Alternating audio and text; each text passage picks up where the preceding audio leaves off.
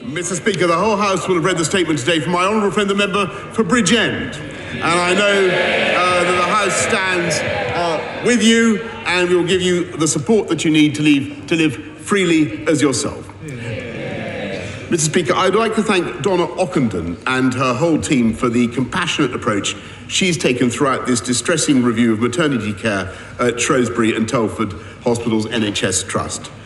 Every woman giving birth has the right to a safe birth, and my heart, therefore, goes out to the families for the distress and uh, suffering that they've endured.